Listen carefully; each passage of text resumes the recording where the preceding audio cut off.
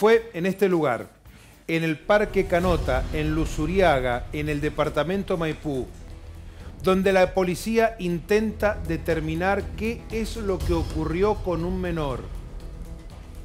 Presentaba signos compatibles con abusos. Fue atendido en el hospital Humberto Notti. Emiliano.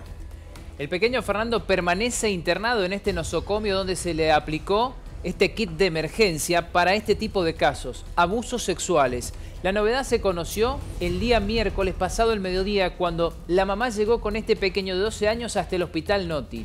Aparentemente sentía dolores, pero de forma inmediata los médicos advirtieron que había lesiones compatibles con un abuso sexual. Por eso dieron cuenta del suceso al policía que está en la guardia, quien avisó inmediatamente a la justicia. Se formalizó una denuncia y desde ese momento se está trabajando para determinar qué fue lo que ocurrió y en dónde. La primera declaración de la mamá habla de un ataque ocurrido a plena luz del día en el Parque Canota, en Lusuriaga, Maipú.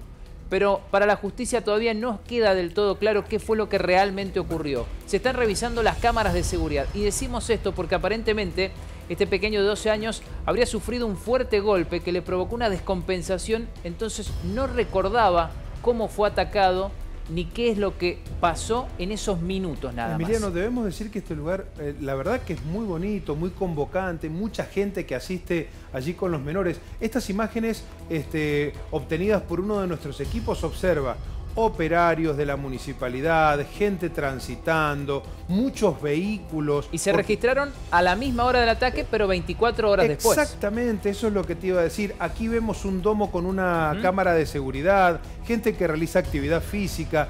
Eh, resulta absolutamente... Em, asombroso de cómo se pudo haber concretado este ataque, porque vos decías muy claramente, eh, las lesiones o las marcas que presentaba el cuerpito de este chiquito de 12 años son compatibles con la de un abuso. Ha sufrido un abuso sexual.